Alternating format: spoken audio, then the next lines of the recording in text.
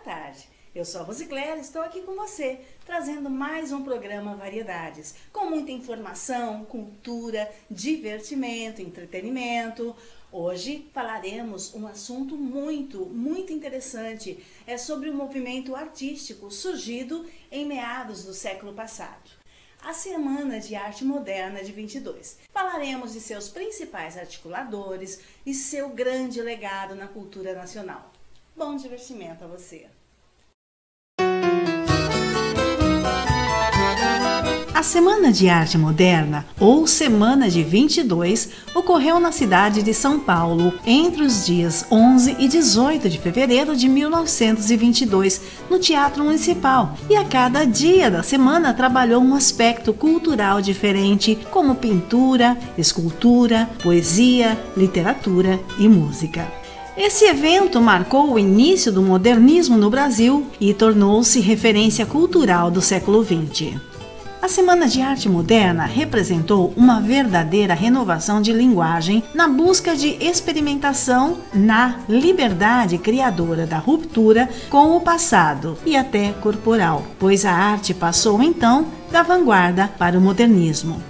O evento marcou época ao apresentar novas ideias e conceitos artísticos, como a poesia através da declamação, que antes era só escrita, a música por meio de concertos, que antes só havia cantores sem acompanhamento de orquestras sinfônicas, e a arte plástica exibida em telas, esculturas e maquetes de arquitetura com desenhos arrojados e modernos. Na época, Washington Luiz, governador do estado, apoiou o movimento especialmente por meio de René Tiller, que patrocinou, trazendo artistas do Rio de Janeiro como Plínio Salgado e Menotti Del Picchia, membros de seu partido, o Partido Republicano Paulista. Participaram da semana nomes consagrados do modernismo brasileiro, como Mário de Andrade, Oswald de Andrade, Victor Brecheret, Plínio Salgado, Anita Malfatti, Menotti Del Picchia, Guilherme de Almeida, Sérgio Millier, Heitor Villa-Lobos, Tácito de Almeida, de Cavalcante, entre outros, e como um dos organizadores do intelectual Rubens Borba de Moraes, que por estar doente, dela não participou. Na ocasião do evento, Tarsila do Amaral, considerada um dos grandes pilares do modernismo brasileiro, se achava em Paris e por esse motivo também não participou do evento. Muitos dos idealizadores do evento eram considerados paulistas quatrocentões. A Semana de Arte Moderna ocorreu em uma época cheia de turbulências políticas, sociais, econômicas e culturais. As novas vanguardas estéticas surgiam e o mundo se espantava com as novas linguagens desprovidas de regras. Algo de críticas e, em parte, ignorada. A semana não foi bem entendida em sua época. A semana de 22 se encaixava no contexto da República Velha, que governava o país desde 1889, que era controlada pelas oligarquias cafeeiras, ou seja, as famílias quatrocentonas, e pela política do café com leite, com a maioria de políticos de São Paulo e de Minas Gerais. O capitalismo crescia no Brasil, consolidando a República e a elite paulista, e esta totalmente influenciada pelos padrões estéticos europeus mais tradicionais. Seu objetivo era renovar o ambiente artístico e cultural da cidade com a perfeita demonstração do que há em nosso meio em escultura, arquitetura, música e literatura sob o ponto de vista rigorosamente atual. Assim, informava o Correio Paulistano, órgão do Partido Governista Paulista, em 29 de janeiro de 1922.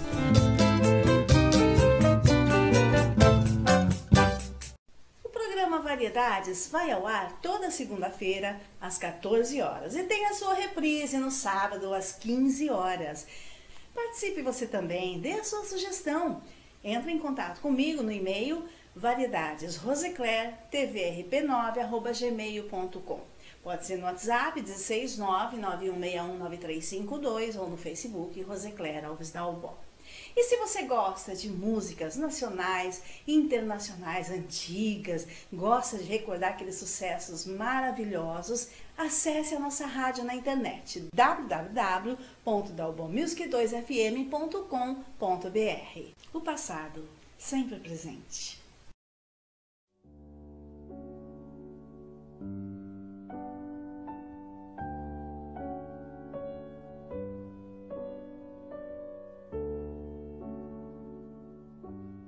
Nova intelectualidade brasileira dos anos de 10 e 20 viu-se com esse movimento em um momento de necessidade de abandono dos antigos ideais estéticos do século XIX, que ainda estava em moda no país. Havia algumas notícias sobre as experiências estéticas que ocorriam na Europa no momento, mas ainda não se tinha certeza do que estava acontecendo e quais seriam os rumos a se tomar. O principal foco de descontentamento com a ordem estética estabelecida se dava no campo da literatura e da poesia em especial. Exemplares do futurismo italiano chegavam ao país e começavam a influenciar alguns escritores, como Oswald de Andrade e Guilherme de Almeida. A jovem pintora Anita Malfatti voltava da Europa trazendo a experiência das novas vanguardas e em 1917 realiza a que foi chamada de primeira exposição modernista brasileira com influências do cubismo, expressionismo e futurismo. A exposição causa escândalo e é algo de duras críticas de Monteiro Lobato, o que foi o estupim para que a Semana de Arte Moderna tivesse o sucesso que, com o tempo, ganhou.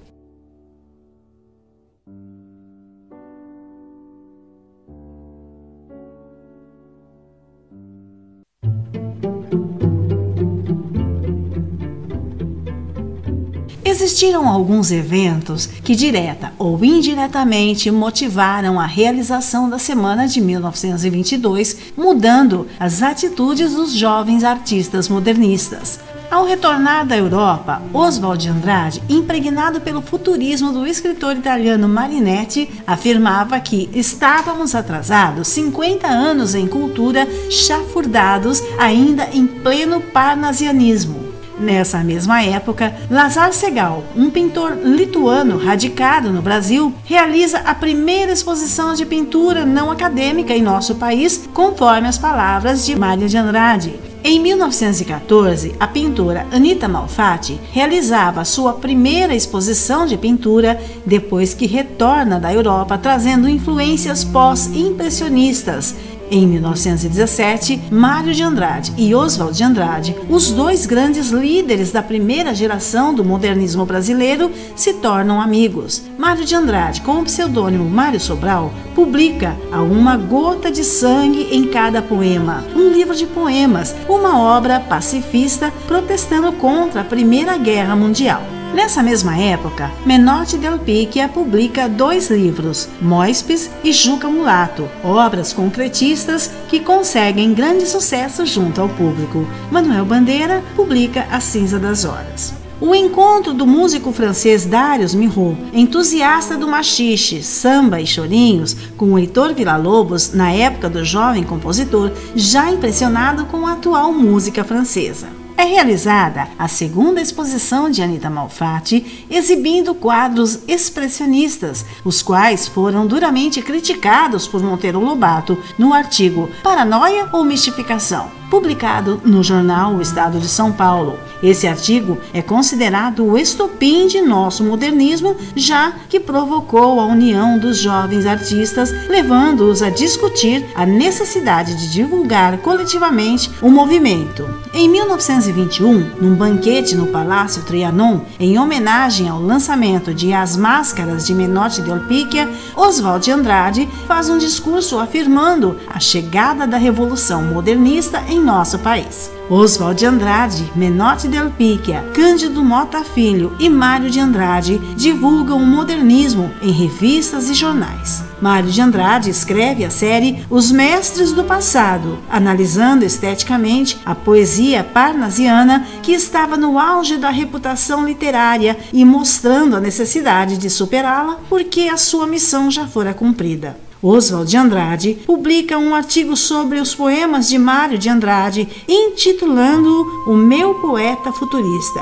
A partir de então, apesar da recusa de Mário de Andrade em aceitar a designação, a palavra futurismo passa a ser utilizada indiscriminadamente para toda e qualquer manifestação de comportamento modernista em tom, na maioria das vezes, pejorativo.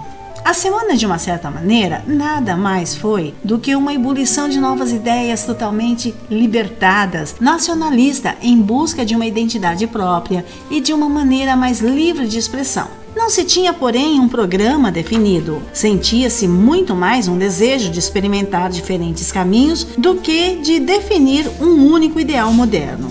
Na época, boa parte da mídia reagiu de forma conservadora ao movimento da Semana de Arte de 1922, referindo-se aos vanguardistas como subversores da arte, espíritos cretinos e débeis ou futuristas endiabrados. Mas uma exceção foi o jornal Correio Paulistano, que apoiou os lançamentos e críticas do movimento. E aí, estão gostando do nosso programa? Olha, a gente vai dar uma pequena pausa, rapidinha, a gente volta já já.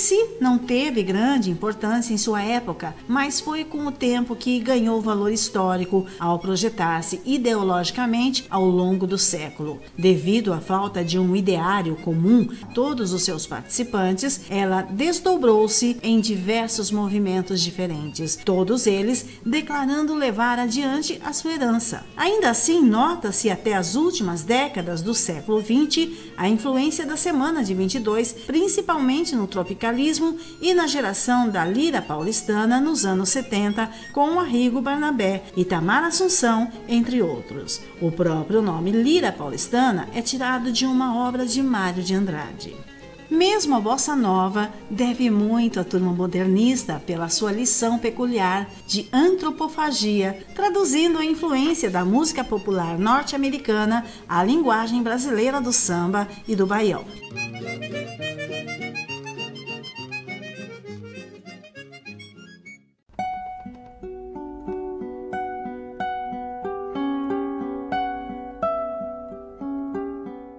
O movimento Pau Brasil foi um movimento artístico lançado no Brasil em 1924 por Oswald de Andrade e Tarsila do Amaral, que apresentava uma posição primitivista, buscando uma poesia ingênua de redescoberta do mundo e do Brasil e que foi inspirada nos movimentos de vanguarda europeus devido às viagens que Oswald fazia à Europa. Esse movimento foi levado ao público com a publicação do livro Pau Brasil, escrito por Oswald de Andrade e ilustrado por Tarsila do Amaral, casados na época, e com o manifesto da poesia Pau Brasil.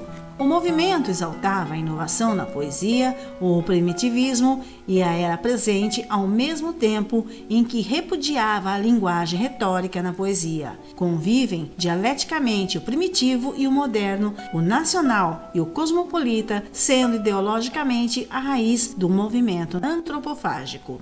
O Movimento Verde Amarelo e o Grupo da ANTA foram dois movimentos culturais decorrentes da Semana de Arte Moderna em 1922. Na literatura, tem por característica textos patrióticos, ufanistas e a idealização do país de características formais, expressionismo e também de Van Gogh, Vidas Livres, País Sem Fome, Infraestrutura de Rendimento Alto, Estrutura Agrária. Recusando todo e qualquer contágio com ideias europeias, este movimento é uma reação às intenções primitivas do pau-brasil liderado por Cassiano Ricardo, Menotti Del Picchia, Plínio Salgado e outros, o grupo acabou caindo num nacionalismo fanista, escolhendo como símbolo de suas ideias a anta, animal que tinha uma função mítica na cultura tupi. Esse movimento converteu-se em 1926 no chamado Grupo da ANTA, que seguiu uma linha de orientação política nitidamente de direita, da qual sairia, na década de 1930, o integralismo de Plínio Salgado, associado ao fascismo. Mais tarde, o poeta Cassiano Ricardo passaria a considerar sua participação no grupo da ANTA como um erro. O Manifesto Antropófago ou Manifesto Antropofágico foi um manifesto literário escrito por Oswald de Andrade, principal agitador cultural do início do modernismo no Brasil. Foi lido em 1928 para seus amigos na casa de Mário de Andrade e publicado na revista de Antropofagia que ajudou a fundar com os amigos Raul Bopp e Antônio de Alcântara Machado. Mais político que o anterior manifesto de Oswald, o da poesia para o Brasil, esteticamente, basicamente, reafirma os valores daquele, apregoando o uso de uma língua literária não catequizada. Ideologicamente, se alinha ainda com aquele, porém busca uma maior explicitação da aproximação de suas ideias com as de André Breton e, portanto, com as ideias de Marx, Freud e Rousseau. A antropofagia, como movimento cultural, foi tematizada por Oswald nesse manifesto, mas também reapareceu outras vezes em sua obra. Em Marco 01 de 1943, um romance de Oswald, escrito sob influência do marxismo e da arte realista mexicana, surgiu o personagem Jacques de São Cristóvão, relembrando a antropofagia e celebrando-a como uma saída para o problema de identidade brasileiro e mesmo como um antídoto contra o imperialismo.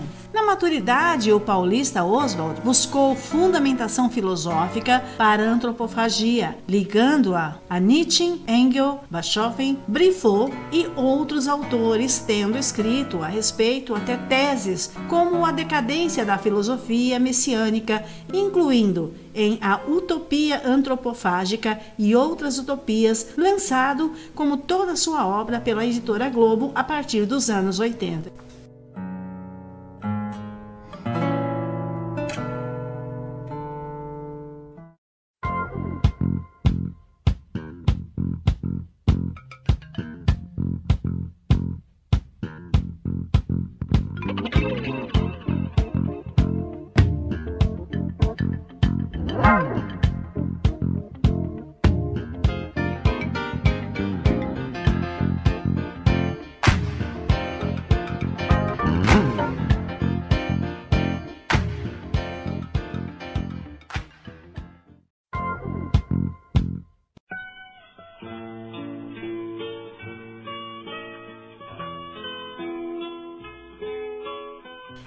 Revista de antropofagia teve duas fases, ou dentições, como queriam os seus participantes, de maio de 1928 a fevereiro de 1929, com 10 números, dirigida por Raul Bopp e Alcântara Machado, com uma ideologia ainda não totalmente definida e antropofágica, foi a primeira fase. Dessa forma, contribuíram para a revista autores de ideologias diferentes, como Plínio Salgado, Mário de Andrade, Guilherme de Almeida, Jorge de Lima, Carlos Drummond de Andrade, Manuel Bandeira, Menotti Del Picchia, Murilo Mendes, Augusto Meyer, Pedro Nava.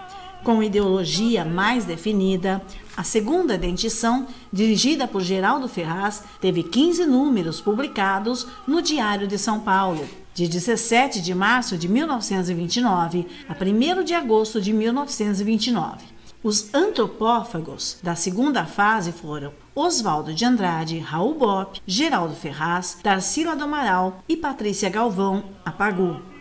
À parte, talvez o concretismo dos irmãos Augusto e Haroldo de Campos, que, segundo João Cabral de Melo Neto, prestou um serviço sem par à poesia brasileira, a antropofagia foi o mais consequente movimento dentro do modernismo brasileiro, fundando uma identidade cultural que teve reflexos na música brasileira. Por exemplo, sendo a bossa nova e o tropicalismo dois casos típicos de concretização dos ideais de deglutição ou devoração crítica, propostos por Oswald de Andrade. Recentemente, a antropofagia tem inspirado decididamente o trabalho teatral do diretor José Celso Martinez Correia e sua preocupação com a presença corporal no teatro oficina.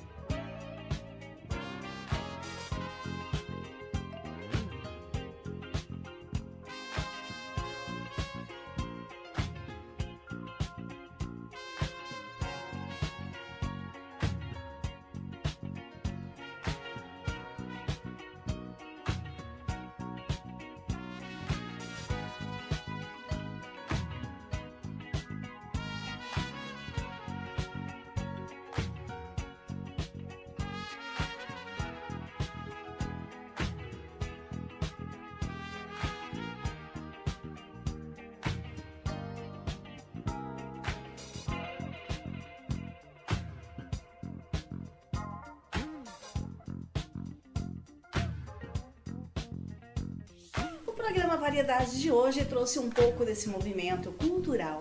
Esperamos que tenha gostado. Para entrar em contato conosco, é só você mandar um e-mail para variedadesroseclertvrp9@gmail.com ou também tem o WhatsApp 16991619352 ou me procure no Facebook Rosecler Alves Dalbó. Muito obrigado pelo carinho e até o próximo programa.